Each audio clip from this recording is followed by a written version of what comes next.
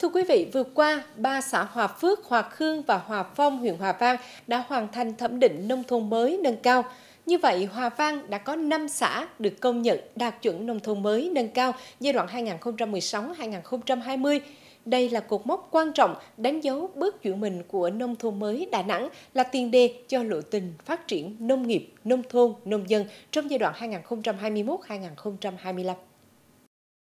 Nông thôn mới nâng cao được thẩm định dựa trên 19 tiêu chí, trên cơ sở các tiêu chí của Bộ Tiêu chí Nông thôn mới do Bộ Nông nghiệp và Phát triển Nông thôn quy định.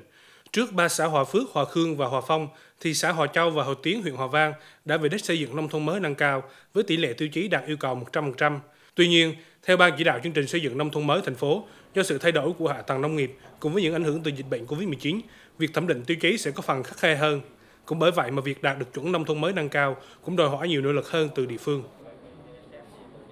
nó không phải khắc khe nhưng mà rà soát lại. Cái nào nó chưa hợp lý thì chúng ta cố gắng làm cho nó hợp lý. Còn cái nào chưa làm thì chúng ta tiếp tục chúng ta làm ở mức độ hiện đại hơn. Với quan điểm đến bây giờ là nông nghiệp là hiện đại. Cái nông thôn của Hòa Vang phải thịnh vượng và nông dân họ phải được hạnh phúc.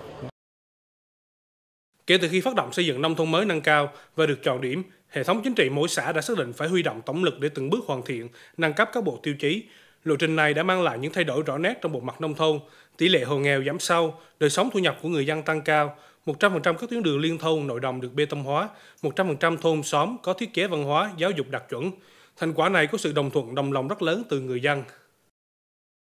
Chúng ta từng bước dần chuyển sang cái theo cái hướng là đô thị. Do vậy là trong cái nông thôn mới mà tiếp tục là được có những tiêu chí chúng ta giữ vững cái truyền thống về cái văn hóa làng xã nhưng mà có những tiêu chí có những cái địa bàn có những cái cái, cái, cái, cái, cái khu vực mà chúng ta phát triển theo cái, cái, cái hướng đô thị để mà tiếp tiếp xúc ờ, kịp thời với cái xu thế phát triển chung của thành phố. Cái thành công của nông thôn mới thì vai trò chủ thể của người dân ở ờ, vai trò quyết định.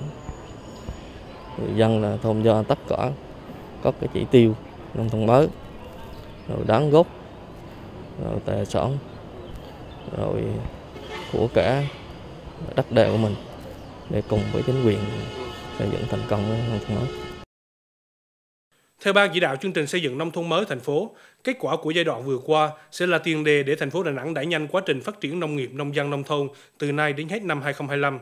Mục tiêu sắp tới sẽ tập trung vào việc tái cơ cấu kinh tế nông thôn, nâng cao mức độ thụ hưởng của người dân. Đây là một trong những tiêu chí quan trọng nhất của chương trình. Cái quan trọng nhất mà mong muốn nhất đó là cái tiêu chí thu nhập. Mà muốn thu nhập thì Hòa Vang phải thay đổi lại cơ cấu kinh tế, phải thay đổi lại cơ cấu kinh tế. Chúng ta hướng tới một cái nền nông nghiệp gọi là cái hợp đa giá trị, tăng cao giá trị nông nghiệp Hòa Vang đặc riêng nói riêng và nông nghiệp Đà Nẵng nói chung nó ngoài cái sản lượng chất lượng an toàn thì nông nghiệp cũng vẫn giữ một cái vai trò đó là bảo vệ môi trường nhân văn bổ tồn cái văn hóa của văn hóa truyền thống của địa phương đó là cái cốt lõi